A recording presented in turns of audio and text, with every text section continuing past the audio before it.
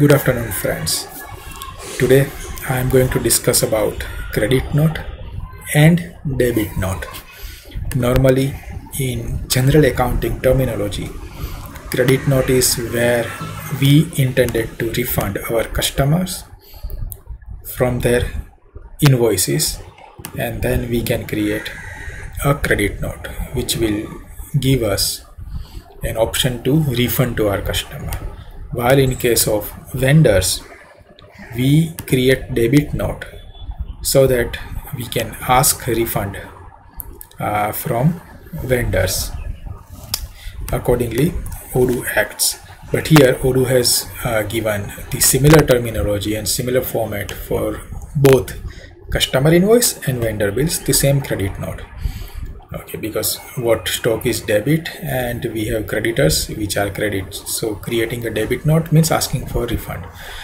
But here uh, in odoo we do have an option of debit note. If you go to apps and search for debit you will find debit note module. Once we install it then i will show you how it works in odoo.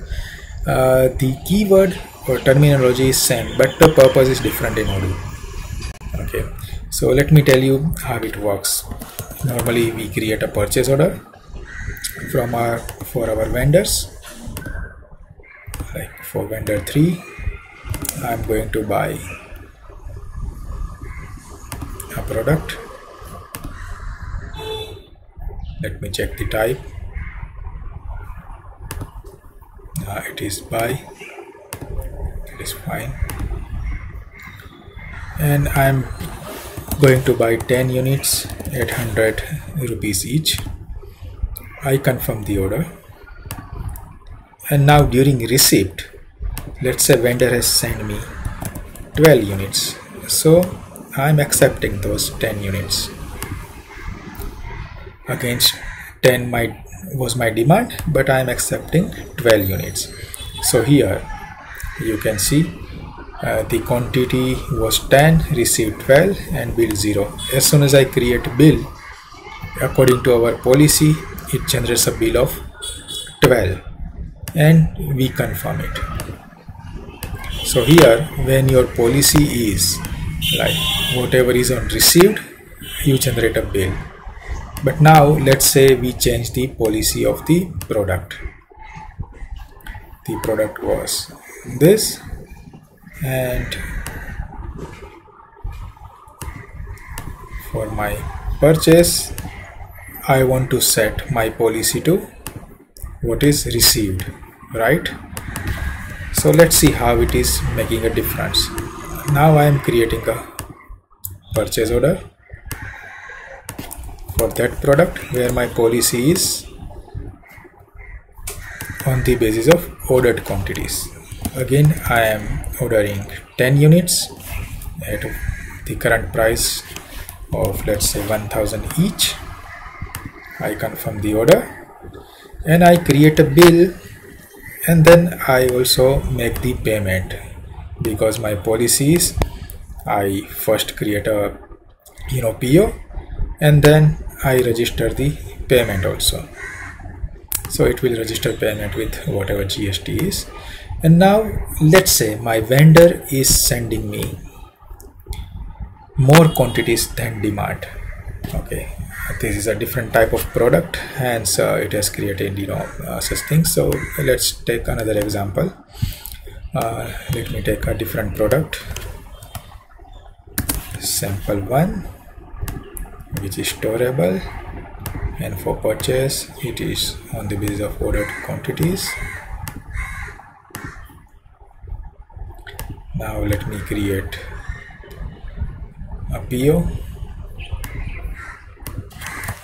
my new vendor 4 and I am buying S1 now. Let's say I am buying 20 units at 20 rupees each. I confirm the order. Without you know receipt I can create a bill because my policy is different and let's say I am making an advance payment also against my vendor bill. So this transaction is done. And now during receipt what I find is my vendor has sent me 25 units. My demand was 20 but he has sent 25 in in good terms. I have accepted it. So now what to do here? I still can create another bill but in vendor bill Odoo gives an option of debit note.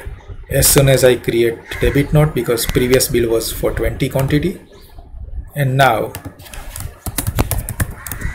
extra quantity received is the reason and I will get them and I will copy the line and it will create a copy interval and I will create a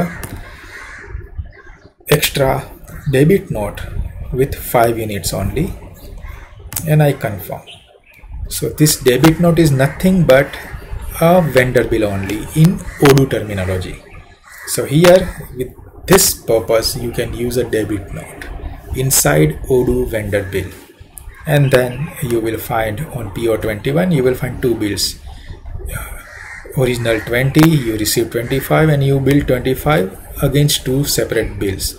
So you can see the original bill was here and this is the extra bill which was based on bill number 5 where extra quantity received. And then you can register the rest of the payment to vendor. So that's how the debit note works uh, normally in Odoo. Hope uh, the purpose is clear and then you can see a debit note here which is connected invoice or connected vendor bill only. Hope this helps many people to clear out the terminology Odoo use uh, rather than you know general uh, accounting terms thank you very much